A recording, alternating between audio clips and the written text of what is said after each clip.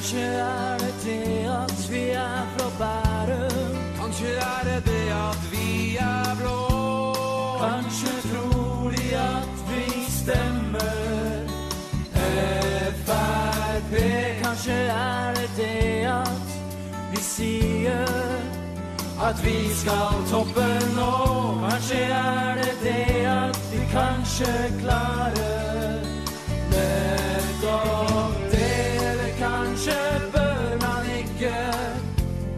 stikke hodet fra slik man skal bli godt likt.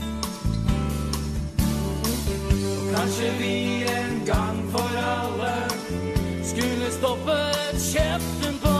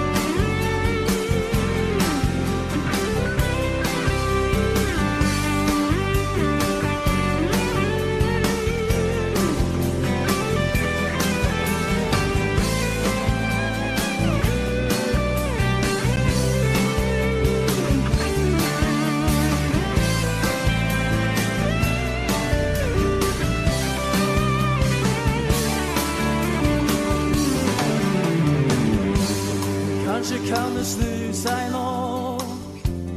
Nå som alle titter på og ser at bak den blå fasaden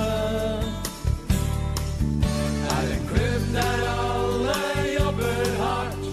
Et sted der man må gi for å kunne få det slik man vil ha.